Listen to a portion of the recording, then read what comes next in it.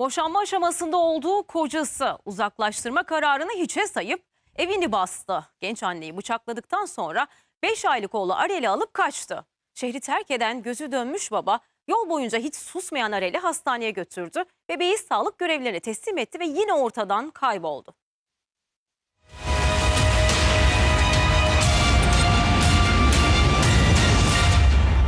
Boşanma aşamasındaki eşini bıçaklayıp 5 aylık bebeğini kaçırdı. Kaçırdığı oğlu minik Arel ağlama krizine girince hastaneyi bırakıp kayıplara karıştı. Afyonkarahisar'da yaşayan genç kadın kocasıyla boşanma aşamasındaydı. Hatta uzaklaştırma kararı da aldırmıştı. 5 aylık minik Arel de annesinin yanında kalıyordu. Uzaklaştırma kararını hiçe sayan öfkeli baba ailesine kabusu yaşattı. İddia göre eşinin evine gelip onu bıçakla yaraladıktan sonra minik Arel'i kaçırdı. Yaralı genç kadının şikayeti üzerine kocası için yakalama kararı çıkartıldı.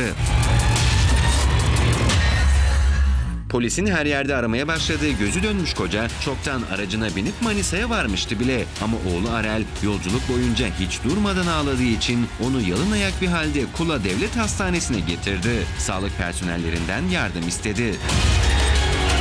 Sağlık görevlilerinin karnını doyurunca minik Arel'in ağlaması kesildi ama o sırada babası ortadan kayboldu. Babaya ulaşamayan hastane çalışanları polisten yardım istedi.